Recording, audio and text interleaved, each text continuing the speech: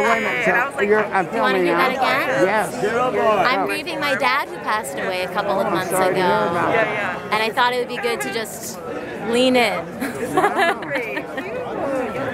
I'm sorry. I'm sorry you lost your father. Thank My you. father was very accepting. I, everything I No, I keep accomplished in life, I accomplished standing on my gotta let me father's go earlier. shoulders. That's beautiful. I, I hope you had a great father. I did, I did. We are so lucky because so We many are. people have monsters for fathers I know. and mothers too. It's true, and grieving him, has come up many times. Yeah, I hope I I would be so proud that you're going out and making the most of life and enjoying life even though in mourning. and Thank you're, you. do- you're making mourning fun and that's hard to do. It is hard, but he would appreciate that. Thank you so much. I put this on YouTube. You're well, yeah, sure. Thank you.